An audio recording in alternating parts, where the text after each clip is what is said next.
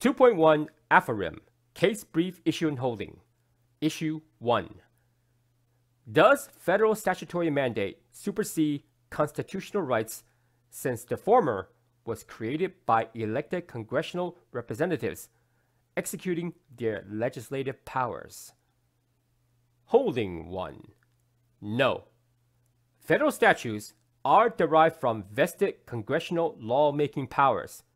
However, constitutional rights supersede statutes since these rights are intrinsically embodied since the formation of the Republic.